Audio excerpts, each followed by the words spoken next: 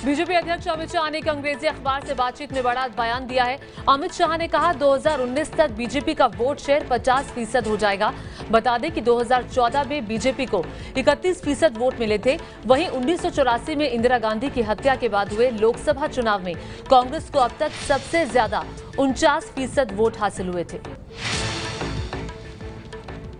BSP supremo Mayawati, इन दोनों कर्नाटक में पूर्व प्रधानमंत्री देवेगौड़ा की पार्टी जेडीएस के लिए चुनाव प्रचार कर रही हैं। मायावती ने एक निजी चैनल को दिए इंटरव्यू में कहा है कि 2019 में होने वाले लोकसभा चुनाव को लेकर समाजवादी पार्टी के साथ गठबंधन, सीटों के बंटवारे को लेकर जल्द ऐलान होगा। आपको बता दें कि दक्षिण के राज्य कर्नाटक में बीएसपी ने जेडीएस के साथ गठबंधन किया है।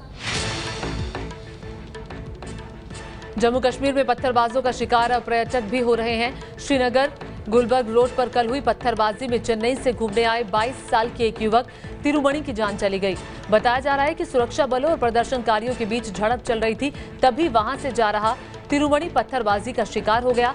इलाज के दौरान युवक की मौत हो गई। इस घटना में हंदवाड़ा की रहने वाली 19 साल की सबरीना भी गंभीर रूप से घायल है, जो अस्पताल में भर्ती है। घटना के बाद मुख्यमंत्री महबूबा मुफ्ती ने अस्पताल जाकर पत्थरबाजी का शिकार हुए मृतक तिरुमणि के परिवार से मुलाकात की। परिवार से मिलने के बाद मुख्यमंत्री महबूबा मुफ्ती ने कहा कि ये बहुत ही दुखद है और मेरा सिर शर्म से झुक गया है। पिछले दिनों शोपिया में भी पत्थरबाजों ने एक स्कूल बस पर पथराव कर दिया था, जिसमें दो बच्चे घायल हो गए थे। त्वरित में अब बात करेंगे तेरह राज्यों और दो केंद्र शासित प्रदेशों में मंडराते आंधी तूफ़ान के खतरों से जुड़ी खबर से। मौसम विभाग ने आज दिल्ली एनसीआर में दोपहर तीन बजे से शाम सात बजे के बीच तेज हवाओं के साथ बारिश का अंदेशा जताया है। बीती रात ग्यारह बजकर बीस मिनट पर तूफ़ान ने दिल्ली एनसीआर और हरियाणा में दस्तक दी। करीब सत्तर किलोमीटर प्रति घंटे की रफ्तार से टकराया तूफ़ान आज फिर दस्तक दे सकता है। कल आधी रात को आए तूफ़ान के बाद कई जगह पेड़ और बिजली के खंभे गिर गए। ट्रैफ़िक सुस्त रहा। तूफ़ान में किसी तरह के जानमाल के नुकसान की खबर नहीं है। दिल्ली एनसीआर में आंधी तूफ़ान के बाद आज भी तेज हवाएँ चल रही हैं। दिल्ली और पश्चिमी उत्तर प्रदेश में आज आंधी के साथ बारिश की आशंका है। एहतियात के तौर पर आज दिल्ली में दूसरी पाली के स्कूल बंद रहेंगे, गाजियाबाद, मेरठ और मुजफ्फरनगर समेत। पश्चिमी यूपी के सभी जिलों में आज स्कूल बंद, जबकि आगरा और हाथरस में आठवीं तक के सभी स्कूल बंद। शामली में कल रात बारिश और धूल भरी आंधी आई। हरियाणा में आंधी तूफ़ान से भारी नुकसान हुआ है। चंडीगढ़, गुरुग्राम, फरीदाबाद में कई जगह आंधी तूफ़ान के बाद पेड़ उखड़ गए, जिससे लोगों को आज ट्रैफ़िक में दिक्कतों का सामना करना पड़ सकता। है कल शाम राजस्थान में तूफ़ान से जनजीवन अस्त व्यस्त रहा। कल शाम पाँच बजे के करीब बीकानेर, झुंझुनू और सीकर में तूफ़ान ने दी दस्तक। तूफ़ान के बाद सड़कों पर ज़ीरो विजिबिलिटी देखने को मिली। भारत पाकिस्तान के सीमावर्ती इलाकों से उमड़ा रेत का गुबार। उत्तराखंड में तूफ़ान से पहले ही मौसम खराब हो गया है। चमोली में बारिश और बर्फबारी हुई है। चमोली में ओले भी गिरे हैं। चमोली ज़िले में पड़ने वाले बद्रीनाथ धाम में भी बर्फबारी हुई है। ऐसा बताया जा रहा है कि करीब 15 साल बाद बद्रीनाथ में मई के महीने में बर्फबारी हुई है। मौसम विभाग ने देश के तेरह राज्यों और दो केंद्र शासित प्रदेशों में आंधी, तूफ़ान और बारिश का अलर्ट जारी किया था। अलर्ट के मुताबिक आज जम्मू कश्मीर, हिमाचल प्रदेश, उत्तराखंड, पंजाब और यूपी के तराई वाले इलाकों में आंधी, तूफ़ान के साथ बारिश की संभावना है।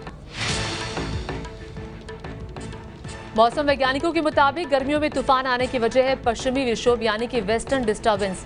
वेस्टर्न डिस्टर्बेंस भूमध्य सागर से उठी तूफानी हवाओं को कहा जाता है। इसके असर वाले इलाकों में तेज आंधी, तेज तूफ़ान आता है। तेज हवाओं के चलने से गरज के साथ बरसात होती है।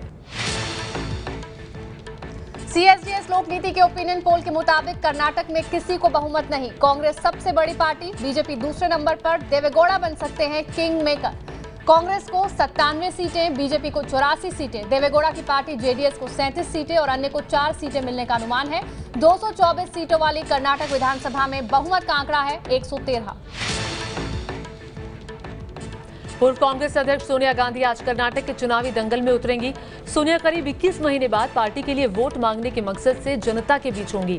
सोनिया ने इससे पहले 2016 में यूपी विधानसभा चुनाव के दौरान प्रचार किया था, लेकिन वाराणसी में रोड शो के दौरान अचानक उनकी तबियत बिगड़ गई थी। आज शाम साढ़े चार बजे सोनिया कर्नाटक के बीजापुर में एक रैली को संबोधित करने वाली हैं। कर्नाटक चुनाव में एक रैली के दौरान प्रधानमंत्री मोदी का बेरोजगारी को लेकर कांग्रेस पर निशाना। कहा 10 साल में कांग्रेस ने कुछ नहीं किया, बेरोजगारी, विरासत में दी। पेट्रोल, डीजल के बड़े दामों के विरोध में कल कांग्रेस अध्यक्ष राहुल गांधी ने कर्नाटक के कोलार में बैलगाड़ी और साइकिल की सवारी की। राहुल, पेट्रोल, डीजल के बड़े दामों को लेकर मोदी सरकार पर जमकर बरसे राहुल ने कहा कि मोदी सिर्फ़ स्पीकर और एयरप्लेन मोड का इस्तेमाल करते हैं। वर्क मोड का इस्तेमाल कभी नहीं करते। राहुल आज बेंगलुरु, चिकबल्लापुर, तुमकुर जिलों में चुनाव प्रचार करेंगे। विधानसभा चुनाव को देखते हुए राहुल का ये तीन महीने में नौवा कर्नाटक का दौरा है। पूर्व प्रधानमंत्री और कांग्रेस के वरिष्ठ नेता डॉक्टर मनमोहन सिंह ने कल बेंगलुरु में प्रेस कॉन्फ्रेंस कर पीएम मोदी पर जमकर हमला बोला। मनमोहन सिंह ने कहा कि मोदी ने बयानबाजी कर प्रधानमंत्री पद की गरिमा गिरा दी बीजेपी अध्यक्ष अमित शाह कर्नाटक में पार्टी के लिए ताबड़तोड़ प्रचार कर रहे हैं। अमित शाह ने कल कर्नाटक में दो जगहों पर रोड शो किया। नारगुंडू में एक रैली के दौरान अमित शाह ने राहुल गांधी पर हमला बोलते हुए कहा कि राहुल ने हार स्वीकार कर ली है। कांग्रेस के निलंबित नेता मणिशंकर अय्यर ने पाकिस्तान जाकर पीएम मोदी के खिलाफ फिर बयान देकर नया बवाल खड़ा कर दिया है। लाहौर में मणिशंकर ने कहा कि मोदी राज में देश को हिंदू राष्ट्र बनाने की कोशिश हो रही है। मणिशंकर अय्यर पहले भी अपने बयानों को लेकर सुर्खियों में रहे सुप्रीम कोर्ट के चीफ जस्टिस दीपक मिश्रा के खिलाफ महाभियोग प्रस्ताव खारिज होने के खिलाफ कांग्रेस सांसदों की याचिका पर आज कोर्ट में सुनवाई होगी। उपराष्ट्रपति वेंकैया नायडू की ओर से प्रस्ताव खारिज होने पर कांग्रेस सांसद प्रताप सिंह बाजवा और अमी याग्निक ने कोर्ट में इसे चुनौती दी थी। आज पाँच जजों की बेंच इस मसले पर सुनवाई करेगी।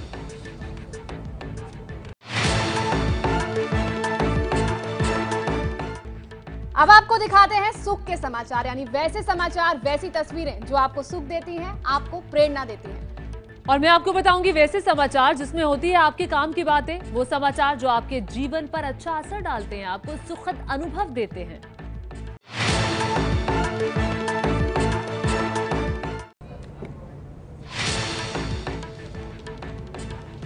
और सबसे पहले तेलंगाना की एक डीएम की सुखद खबर। तेलंगाना के आदिलाबाद ज़िले की डीएम डी दिव्या ने आदिवासी कर्मचारी की शादी में डांस किया। डीएम के मिलनसार रवैये से गाँव वाले भी काफ़ी खुश हुए। डीएम दिव्या के दफ्तर में बागबानी का काम देखने वाले सुधाकर की शादी थी, जिसमें डीएम को न्यौता दिया गया था। डीएम दिव्या न सिर्फ़ शादी में शामिल हुई, बल्कि उनके साथ पारंपरिक डांस भी किया। इसे कहते हैं जनता का सेवक। महिला भ्रूण हत्या की खबरें आपको दुख देती होंगी, लेकिन आज हम आपको एक ऐसे गाँव की कहानी दिखा रहे हैं जहाँ बेटी होने पर खुशियाँ मनाई जाती हैं। मध्य प्रदेश के टीकमगढ़ ज़िले के हरपुरा गाँव में बेटियों को देवी का रूप माना जाता है और उनकी पूजा की जाती है। यही वजह है कि इस गाँव में पुरुषों की तुलना में महिलाओं की संख्या ज़्यादा है। हम इस गाँव की 1421 लोगों की जनसंख्या में 743 महिलाएँ और 678 पुरुष हैं। लू के थपेड़ों से इंसान तो इंसान, अब भगवानों को भी उनके भक्त ठंडक देने की कोशिश कर रहे हैं। कानपुर में मंदिर परिसर को ठंडा बनाए रखने के लिए कहीं कूलर तो कहीं एसी लगवाए जा रहे हैं। वहीं नागपुर में भी भगवान को गर्मी से बचाने के लिए कई तरह के इंतज़ाम किए जा रहे हैं। अयोध्या, श्री कनक बिहारी सरकार कनक भवन मंदिर में अद्भुत नज़ारा। मंदिर के गर्भगृह में फूल बंगला बनाया गया है। मंदिर परिसर को फूलों से सजाने के लिए पूरे देश से फूल मंगाए गए। भगवान के दर्शन और फूल बंगले की झांकी देखने के लिए श्रद्धालुओं और साधु संतों का तांता लगा हुआ है। अहमदाबाद की सीधी सैयद मस्जिद सैलानियों के आकर्षण का केंद्र बन गई है। जापानी पीएम शिंजो आबे के पीएम मोदी के साथ मस्जिद देखने आने के बाद से सैलानियों की आमद यहाँ बढ़ गई है। इसे एक में सुल्तान शमसुद्दीन मुजफ्फर शाह तृतीय के शासनकाल में इथियोपिया के सीधी सैयद ने बनाया था। मुजफ्फर शाह गुजरात सल्तनत के आखिरी सुल्तान थे। बेटियों के कदम लगातार बढ़ रहे हैं। अब एमपी के सागर में नेशनल हाईवे 26 पर बने चितौरा टोल प्लाजा पर। बेटियाँ अपनी ड्यूटी निभा रही हैं। टोल प्लाजा पर महिलाओं की तैनाती के बाद झगड़ों में कमी आई है। इस बदलाव के बाद कंपनी ने अपने सभी टोल नाके महिलाओं के सुपुर्द करने का फैसला किया है। अब आपको जल्दी घर बैठे पेट्रोल, डीजल मिलेगा। इंडियन ऑयल कॉरपोरेशन की तर्ज पर हिंदुस्तान पेट्रोलियम ने भी डीजल की होम डिलीवरी शुरू कर दी है। शुरू में कंपनी मुंबई में सिर्फ़ डीजल की होम डिलीवरी कर रही है। मॉल, फैक्ट्री या अन्य कमर्शियल जगहों पर डीजल की सप्लाई की जाएगी। बीएसएनएल यूज़र्स के लिए अच्छी खबर बीएसएनएल ने अपनी फ्री संडे कॉलिंग सर्विस के प्लान को बंद ना करने का फैसला लिया है। इस योजना के तहत लैंडलाइन और ब्रॉडबैंड यूज़र्स रविवार को रात साढ़े दस बजे से लेकर सुबह छह बजे तक अनलिमिटेड बातें कर सकते हैं।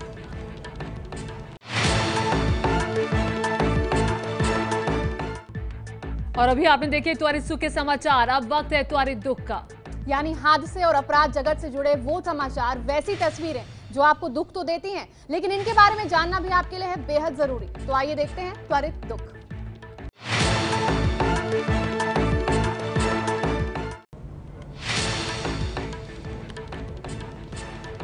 दिल्ली के देशबंधु गुप्ता रोड इलाके में रहने वाली एक नेत्रहीन लड़की के साथ रेप का मामला सामने आया है। पुलिस के मुताबिक आरोपी पीड़ित लड़की के पड़ोस में ही रहता है और किसी काम के बहाने बुलाकर उसने ये घिनौना काम किया। पीड़ित लड़की ने आवाज़ से आरोपी को पहचान लिया।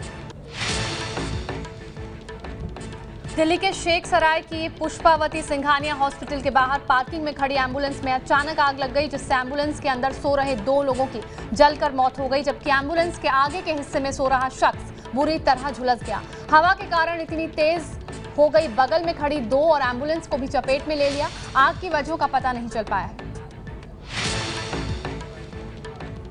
दिल्ली से सटे गाजियाबाद में सुरक्षा गार्ड ने पार्टी करने से मना किया तो नशे में धुत लड़कों ने गार्ड को बेरहमी से पीटकर अधमरा कर दिया। गार्ड दिल्ली के जीटीबी अस्पताल में वेंटिलेटर पर है। पुलिस ने इस मामले में दो आरोपियों को गिरफ़्तार किया दिल्ली से सटे गाजियाबाद में एक बिजली घर बना शराबियों का अड्डा। बताया जा रहा है कि नंदग्राम इलाके के बिजली दफ्तर में नाइट शिफ्ट में काम करने वाले कर्मचारी खुलेआम शराब पीते हैं। बिजली अधिकारी ने दिया जाँच का आश्वासन। हरियाणा के गुरुग्राम के सोहना में महिला को किडनैप कर गैंगरेप पीड़िता के फ़ोन कॉल के बाद परिवार वालों ने महिला को छुड़ाया। पुलिस ने शिकायत के बावजूद आरोपियों की गिरफ्तारी नहीं की। हरियाणा के अंबाला में पुरानी रंजिश के चलते शख्स की गोली मारकर हत्या कर दी गई। हत्या के बाद आरोपी मौके से फरार हुआ। सीसीटीवी में कैद हुई तस्वीर। बिहार के वैशाली में एक टीचर की बाइक सवार तीन बदमाशों ने स्कूल में घुसकर हत्या कर दी। हत्या की वजह का अभी तक नहीं पता चल पाया है। पुलिस इसे सोची समझी साजिश के तहत हत्या का मामला मान रही है। फ़िलहाल छानबीन में जुटी है पुलिस। झारखंड के पाकुड़ ज़िले के कांकर बोना गाँव में नाबालिग को रेप के बाद जलाया। लड़की की हालत नाजुक। पुलिस ने आरोपी को गिरफ़्तार कर लिया है। यूपी के बाराबंकी में एक प्रेमिका पर अपने पहले प्रेमी की गोली मारकर हत्या करवाने का आरोप लगा है। पुलिस के मुताबिक प्रेमिका ने अपने दूसरे प्रेमी को शादी का झांसा देकर हत्या करने के लिए राज़ी किया। पुलिस ने आरोपी प्रेमी को तो गिरफ़्तार कर लिया, मगर प्रेमिका अब तक फरार बताई जा रही है। एमपी के जबलपुर में एक व्यापारी के परिवार को घर में बंधक बनाकर बदमाशों ने लूट की। हथियारबंद बदमाश व्यापारी के घर से करीब 70 लाख के जेवर और तीन से चार लाख की नकदी लेकर फरार हो गए।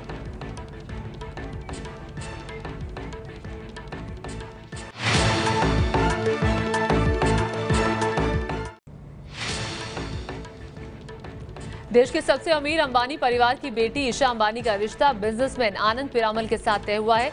मुंबई में मुकेश अंबानी के घर शादी पक्की होने का मना शानदार जश्न, कई बॉलीवुड सितारों ने शिरकत की। मुंबई में आज होगी अभिनेत्री सोनम कपूर की शादी। सोनम बिजनेसमैन आनंद आहूजा से शादी कर रही हैं। मुंबई में सुबह 11 बजे से रस्में शुरू होंगी। रात 8 बजे मुंबई के होटल लीला में होगा रिसेप्शन। कल रात सोनम की मेहंदी और संगीत की रस्म में शामिल होने के लिए बॉलीवुड सितारे भी पहुँचे। राष्ट्रीय मानवाधिकार आयोग ने तमिलनाडु सरकार और सीबीएसई को भेजा नोटिस। नीट की परीक्षा देने के लिए राज्य में ही सेंटर बनाने की मांग की, ताकि छात्रों को परीक्षा देने के लिए दूर न जाना पड़े। आपको बता दें कि तमिलनाडु से केरल परीक्षा देने गए एक छात्र के पिता की हार्ट अटैक से मौत हो गई। उस समय छात्र एर्णाकुलम में परीक्षा दे रहा था। तमिलनाडु की पूर्व मुख्यमंत्री जयललिता की याद में जया मेमोरियल की नींव रखी गई। तमिलनाडु के मुख्यमंत्री के पलानीसामी ने रखी नींव। पत्रकार उपेंद्र राय की सीबीआई हिरासत को दो दिन के लिए और बढ़ा दिया गया है। उपेंद्र राय पर आरोप है कि उसने व्हाइट लाइन डेवलपर से 15 करोड़ से ज़्यादा की रकम की मांग की। यह भी आरोप है कि उन्होंने इनकम टैक्स का छापा और मीडिया में खबर रुकवाने के लिए ये रकम मांगी। दिल्ली के विदेशी डाक विभाग में रेवेन्यू इंटेलिजेंस निदेशालय की टीम ने छापा मारकर पार्सल में छिपाकर रखे गए नशीले ड्रग्स की टैबलेट और कैप्सूल बरामद किए हैं। इनकी कीमत करीब 10 करोड़ से ज़्यादा बताई गई है। इन्हें हर्बल और हेल्थ का प्रोडक्ट बताकर विदेश में बेचने की योजना थी। कोलकाता की पंडितिया रोड पर बाइक सवार बदमाश, चलती कार में सवार लोगों पर एसिड फेंक कर फरार हो गए। जाँच में जुटी है पुलिस। कोलकाता में एसटीएफ की टीम ने माओवादियों को हथियार सप्लाई करने वाले गिरोह का भंडाफोड़ किया। स्पेशल टास्क फोर्स ने छह लोगों को गिरफ़्तार किया, जिसमें चार लोग बाबू घाट से गिरफ़्तार किए गए हैं। इनमें दो लोग बम बनाने वाली फैक्ट्री के कर्मचारी बताए जा रहे हैं। इनके पास से भारी मात्रा में हथियार बरामद हुए।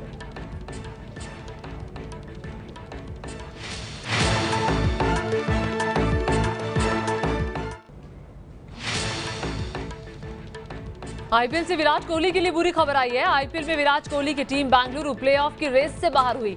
कल रात रोमांचक मैच में हैदराबाद ने बेंगलुरु को पाँच रन से हरा दिया। एक रन के लक्ष्य का पीछा करने उतरी बेंगलुरु की टीम। 141 रन ही बना सकी। बैंगलोर हैदराबाद मैच में आखिरी ओवर में दिखा आईपीएल वाला रोमांच। आखिरी ओवर में बैंगलोर को जीत के लिए 12 रन चाहिए थे। गेंदबाजी कर रहे भुवनेश्वर कुमार ने ओवर में खर्च किए सिर्फ़ छह रन। साथ ही आखिरी गेंद पर एक विकेट भी झटका। और अंक तालिका में हैदराबाद अब टॉप पर बनी हुई है। 10 मैच में 16 अंकों के साथ हैदराबाद का प्लेऑफ में पहुँचना लगभग तय है। दूसरे नंबर पर 14 अंकों के साथ चेन्नई की टीम, तीसरे पायदान पर पंजाब और चौथे नंबर पर कोलकाता की टीम। आईपीएल में आज रात आठ बजे पंजाब का मुकाबला राजस्थान से होगा। पिछले मैच में राजस्थान को हराने के बाद पंजाब के हौसले बुलंद है। वहीं राजस्थान की टीम लगातार खराब प्रदर्शन कर रही है। ऑरेंज कैप पर अंबाती रायडू का कब्जा बरकरार है। अंबाती के 10 मैचों में 423 रन हुए हैं। दूसरे नंबर पर केन विलियमसन है। विलियमसन के 10 मैचों में 410 रन और इसमें तीसरे नंबर पर है सूर्य कुमार यादव। चौथे पायदान पर विराट कोहली को जगह मिली है। पर्पल कैप पर उमेश यादव का कब्जा। यादव ने 10 मैच में लिए हैं 14 विकेट। दूसरे नंबर पर बने हार्दिक पांड्या के भी 14 विकेट है। लेकिन अच्छी इकोनॉमी के चलते पर्पल कैप उमेश यादव के पास है। तीसरे नंबर पर सिद्धार्थ कौल और चौथे पर राशिद खान है।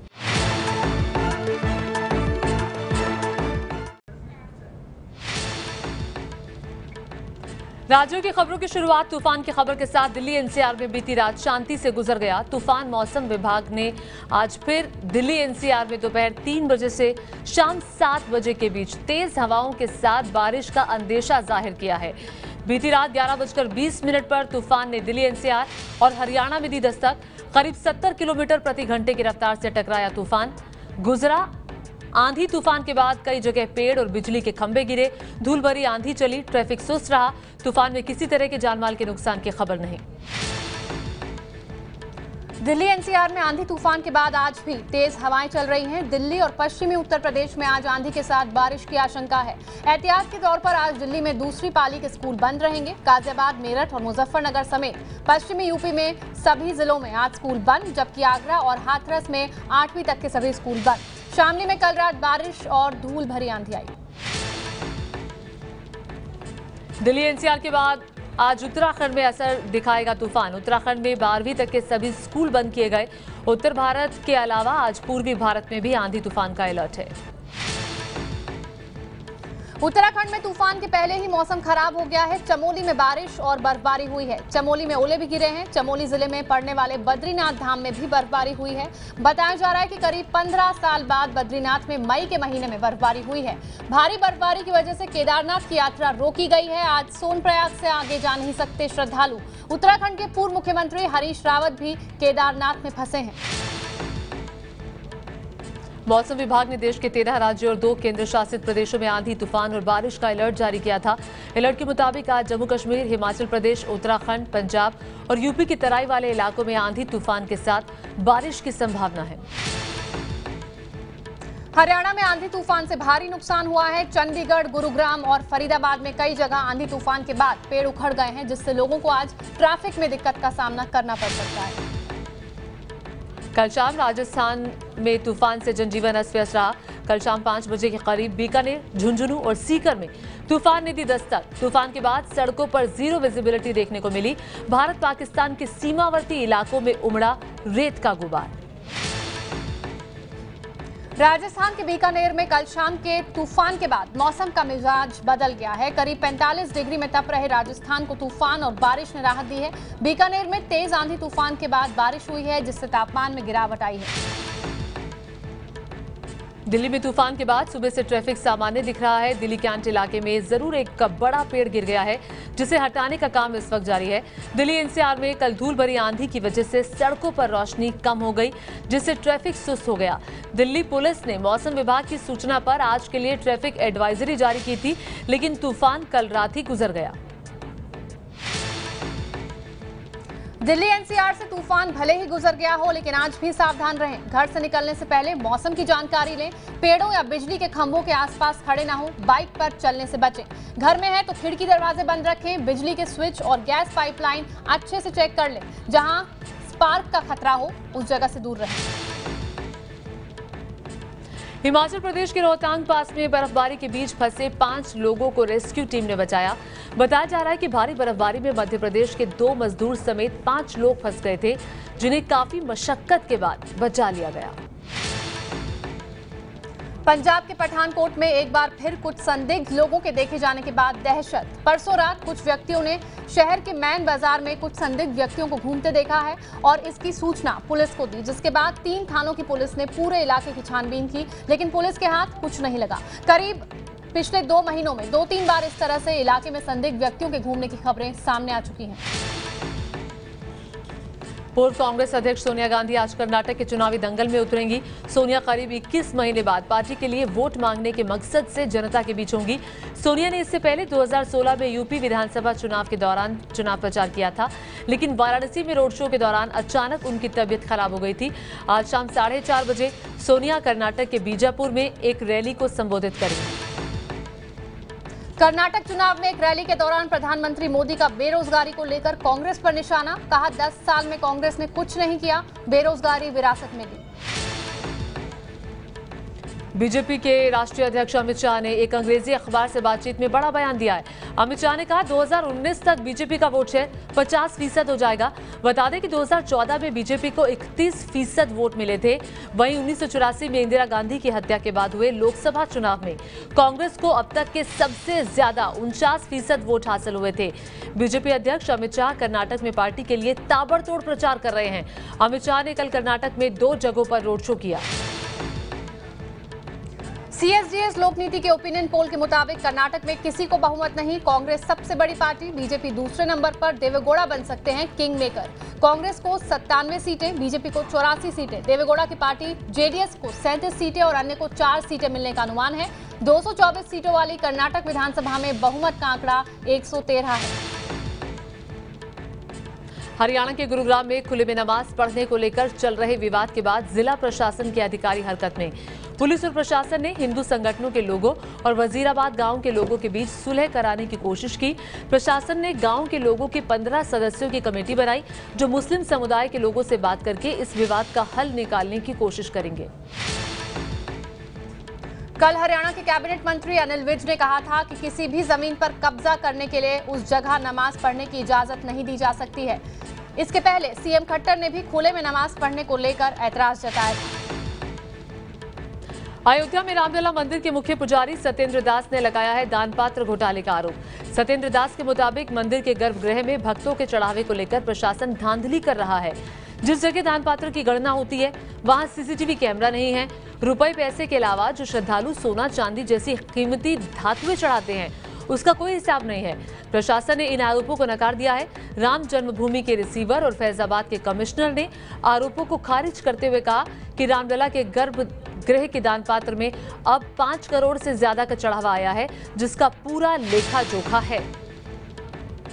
अयोध्या के कनक भवन मंदिर में सजा है फूल बंगला। भगवान राम जानकी के मंदिर को वृंदावन से आए महंत। बलराम दास महाराज ने फूलों से सजाया है। बलराम दास महाराज हर साल मई के महीने में फूल बंगला बनाकर पूरे मंदिर परिसर को फूलों से सजाते हैं, ताकि गर्मी से भगवान को शीतलता मिल सके। फूल बंगले की झांकी देखने के लिए श्रद्धालुओं का तांता लगा हुआ है। यूपी में अलीगढ़ के खैर कस्बे में बने पीडब्ल्यूडी विभाग के गेस्ट हाउस से हटाई गई एएमयू के संस्थापक सर सैयद अहमद खान की तस्वीर। सर सैयद की जगह लगी पीएम मोदी की तस्वीर। तस्वीर हटाने वाले का अब तक सुराग नहीं मिला।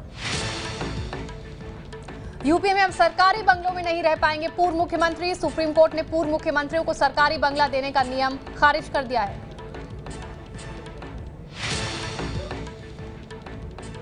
मध्य प्रदेश में इसी साल होने वाले विधानसभा चुनाव को लेकर हमले और तंज कसना शुरू हो चुका है। मध्य प्रदेश कांग्रेस के अध्यक्ष कमलनाथ ने सीएम शिवराज सिंह को नालायक दोस्त कहा। आपको बता दें, शिवराज ने कमलनाथ को एमपी कांग्रेस का अध्यक्ष चुने जाने पर अपना दोस्त बताया था। एमपी कांग्रेस के नए अध्यक्ष कमलनाथ ने साफ़ कर दिया है कि आगामी विधानसभा चुनाव में टिकट किसी की सिफारिश पर नहीं दिए जाएँगे। जो जीतने वाला कैंडिडेट होगा, उसे ही मिलेगा कांग्रेस का टिकट। कमलनाथ ने एमपी की 230 विधानसभा सीटों में से 150 सीटें जीतने का लक्ष्य तय किया है। मध्य प्रदेश के उज्जैन में लहसुन के भाव को लेकर किसानों का गुस्सा बढ़ता जा रहा है। कल किसानों ने उज्जैन की कृषि उपज मंडी के कार्यालय पर ताला, जड़ दिया और लहसुन की शव यात्रा निकाली। उज्जैन में लहसुन के भाव चार सौ रुपए प्रति क्विंटल से भी कम हो गए हैं।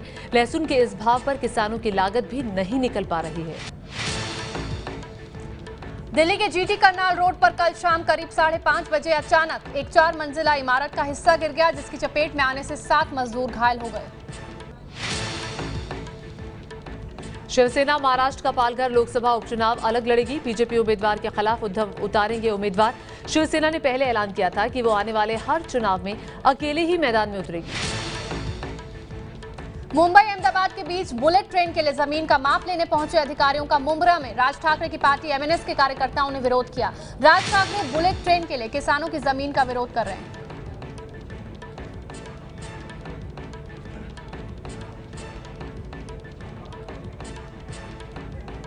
पश्चिम बंगाल के सिलीगुड़ी में टीएमसी और बीजेपी कार्यकर्ताओं में हिंसक झड़प। बीजेपी कार्यकर्ताओं पर टीएमसी कार्यकर्ताओं ने किया हमला। दो लोग बुरी तरह से घायल हो गए। कोलकाता में एसटीएफ की टीम ने माओवादियों को हथियार सप्लाई करने वाले गिरोह का भंडाफोड़ किया है। स्पेशल टास्क फोर्स ने छह लोगों को गिरफ़्तार किया है, जिसमें चार लोग बाबू घाट से गिरफ़्तार किए गए हैं। इनमें दो लोग बम बनाने वाली फैक्ट्री के कर्मचारी बताए जा रहे हैं। इनके पास से भारी मात्रा में हथियार बरामद हुए हैं।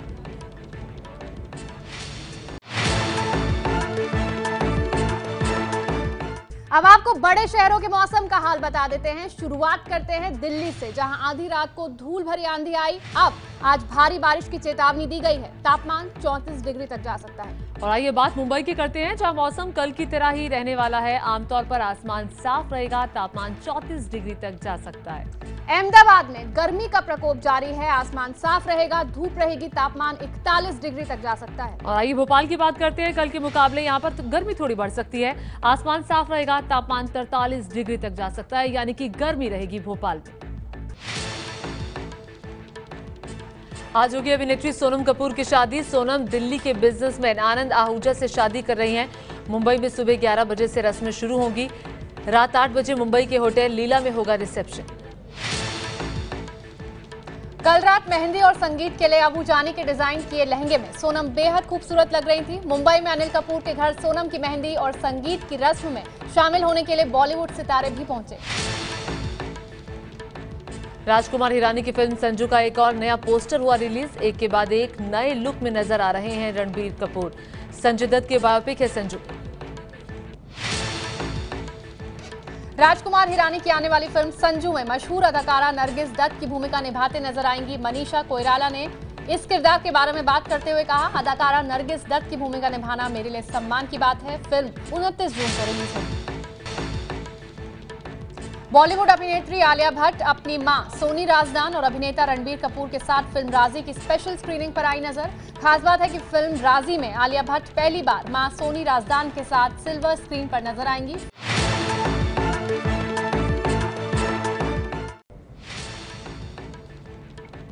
ईरान से 2015 में हुए परमाणु समझौते पर आज अमेरिकी राष्ट्रपति फैसला ले सकते हैं। 2015 में समझौते के तहत ईरान से परमाणु कार्यक्रम का प्रतिबंध हटा लिया गया था। इस समझौते को अब अमेरिका तोड़ सकता है। ईरान कह चुका है कि अगर अमेरिका करार रद्द करता है तो ये उसकी ऐतिहासिक भूल होगी। व्लादिमीर पुतिन ने चौथी बार रूस में राष्ट्रपति पद संभाला। क्रेमलिन में हुए समारोह को संबोधित करते हुए पुतिन ने कहा, रूस को और आधुनिक बनाने की ज़रूरत है। ट्रंप ने पुतिन को बधाई दी।